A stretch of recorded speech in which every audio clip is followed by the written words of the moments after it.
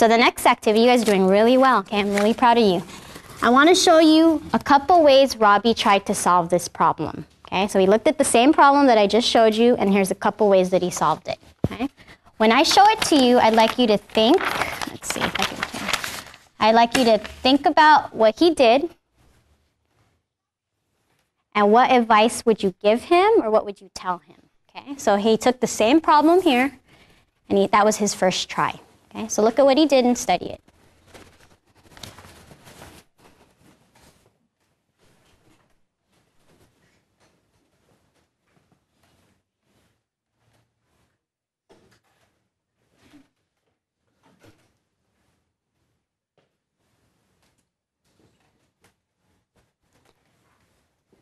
All right, when you're ready, tell your partner what you think he did, what he was thinking, and what you would tell him.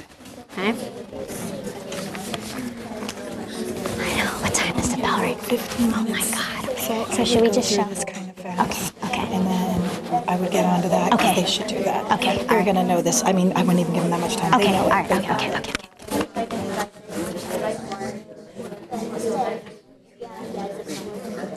When you're ready, look up at me so I know you're ready.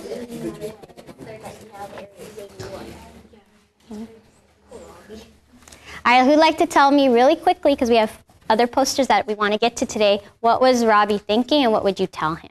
What was Robbie thinking? What would you tell him? Okay. Mm, Julian?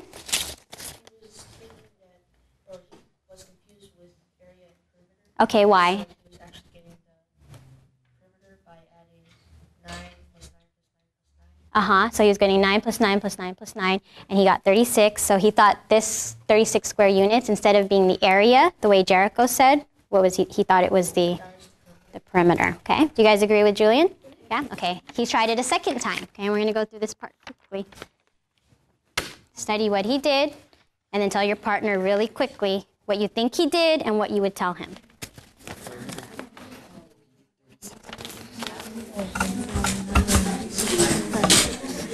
Oh, I think that he um that he added 36, 36, 36, 36 four times because he's confused a lot.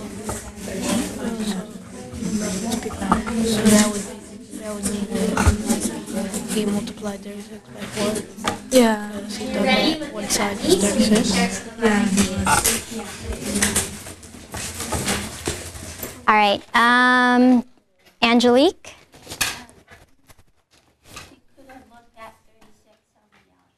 On the outside, so instead of it being the area, when you say outside, what does that mean? He, the edges, so maybe he thought 36 was the whole edge or just one of the edges? The whole edge, okay. How did he get 1,296? He added that plus the area. Okay, that's one possibility. Many other ideas that he might have done? Might have done? Jericho?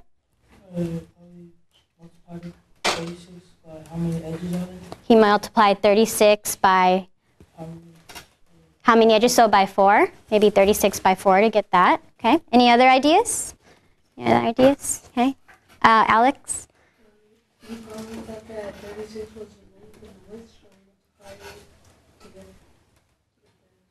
He multiplied 36 by 36. Yeah, and if I had given you more time, I saw a couple of you writing on your paper testing whether or not 36 times 36 would have been that. I wish I gave you calculators so you could have checked it. But yeah, this student actually did 36 times 36. Okay? Or not this student, Robbie. Okay? His third try. Okay? His third. okay. Third try, he decided to try again because he's a good math student. He's hardworking, and he knows that if he doesn't get it right the first time, he's going to try a different strategy. Okay, so this is his third strategy. Think about it and tell your partner really quickly. This It's the same, so you could probably show them both. Okay, or, yeah, yeah. me one. I'll actually show you both. So talk about both with your partner. Okay. What was he thinking? What would you tell him? Is he on the right track?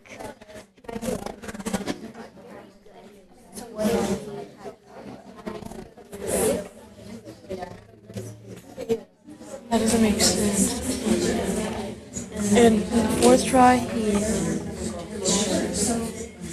In the, fourth try, he he made the nine. He changed nine into six to make it easier, but then he's gonna make it long. And then he's, he's gonna think that he's gonna multiply six by six and it'll equal thirty-six. But but it has four sides. So.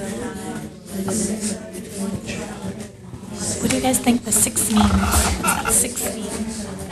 The, the six inches. When you're ready, look at that. Um, that And then would like to tell me what Robbie was trying to do in his third and fourth try, and what advice you would give him. What advice you give? How about Cassie? Um, he was trying to find this.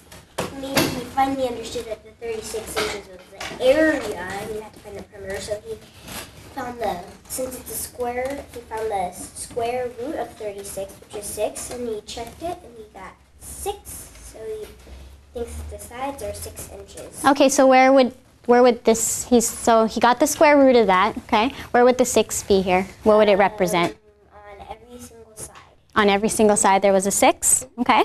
Is there anyone else that wants to add to what Cassie shared? How does that picture then, somebody different, how does that picture show me what Cassie just said? That Robbie thinks that this is six, six, six, and six. How does a picture show it? Okay, Julian? The picture proves that um, six times six equals thirty-six. 36. Okay, how do we know how many squares are in there? There's 36. Okay, is he close to the answer? He is. He is? Very. Okay, who can tell me why? Why? Did you talk about that actually with your partner? Okay, talk about with your partner really quickly. Is he close to the answer? Okay.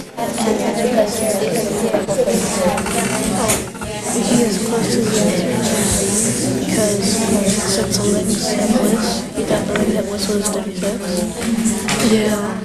He multiplied 6 by 6 and he got 36. Yeah. But then When you're ready, look at that. All right, who'd like to share what you and your partner talked about? Either what you said or what your partner talked about. Okay. How about Brandon? Because six times six will equal thirty-six, but i- for perimeter is six plus six plus six plus six. Why? Because, um, because you gotta add the four sides and they're all six. Okay, what would that be? 6 plus 6 plus 6, 24. Okay. Do you guys agree with uh, Brandon? Brandon, right? Okay. All right.